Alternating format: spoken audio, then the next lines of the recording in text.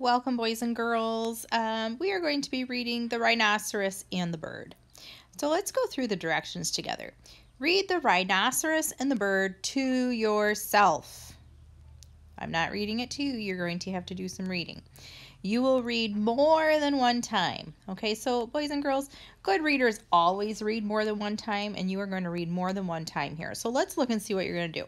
The first time you read, I want you to lightly underline any word you do not know the meaning of. All right, so you're going to go through the story right here.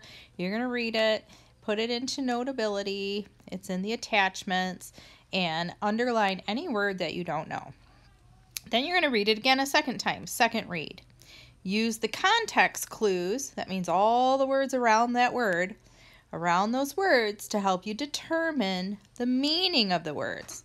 What do you think they mean? So after you read it a second time, the words that you circled the first time because you didn't know what they mean, I want you to really think about what do you think they mean in that story? Is it a name? Is it an action? Is it a thing? What do you think it means? And then you're going to read it a third time. Your third time, I want you to think about the characters, the rhinoceros and the bird. And I want you to think if either one of them changed from the beginning of the story to the end of the story. Think about their actions. They're not going to change their appearance. I want you to think about their actions. How do they change their personalities? And then when you're done reading it a first time, a second time, and a third time, I want you to go retell the story to an adult in your house. All right, if you are in class, we will do a retell with a partner.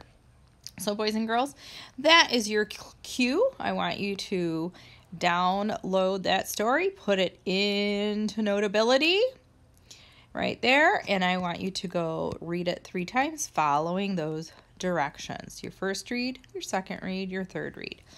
And then come back and finish watching the video.